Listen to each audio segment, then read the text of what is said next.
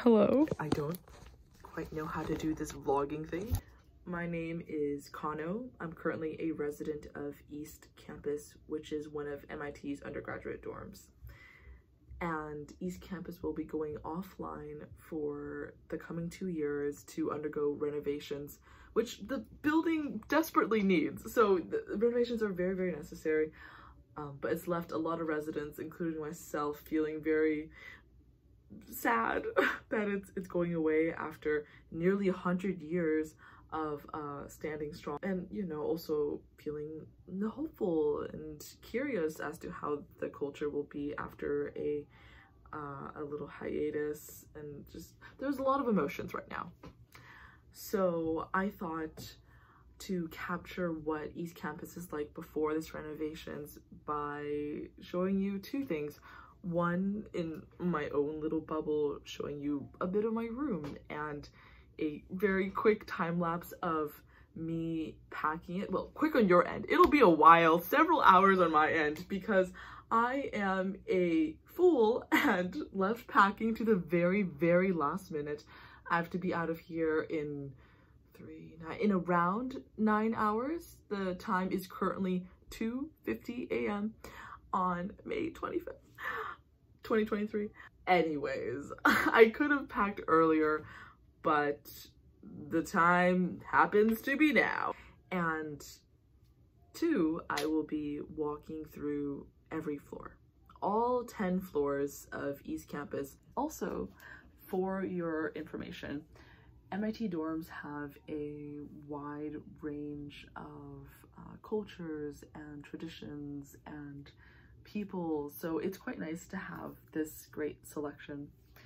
And East Campus specifically airs more on the side of um, being a really close-knit community really creative and vibrant and wild and alive and I, I mean I'm a biased resident. I love it here there, there's so much to be said that could capture or at least attempt to capture what the culture is like here.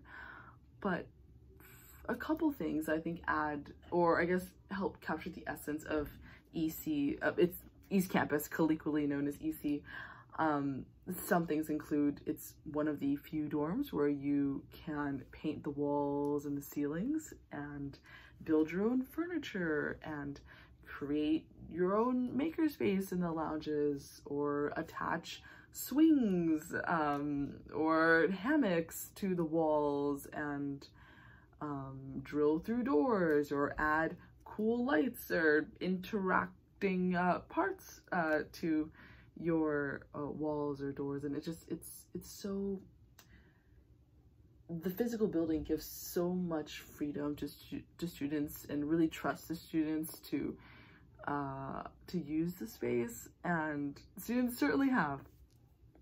I, I mean, I could just go on gushing, but I won't because there's plenty of blogs and videos and much more out there. So, moving along. My door, which reads Havoc will wreak again. Mural wall. Meticulous organization system. Sink.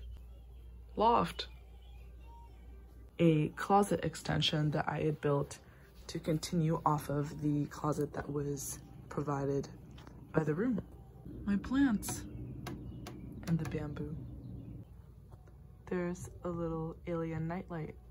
There were not that many good places to put my phone such that you'd be able to see most of the room while I was packing, except for this ledge. And so I decided to put my phone here albeit the support to hold the phone up was difficult to find.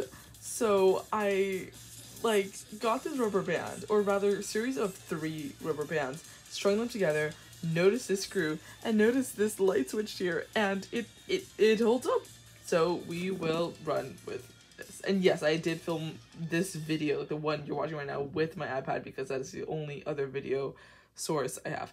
Okay.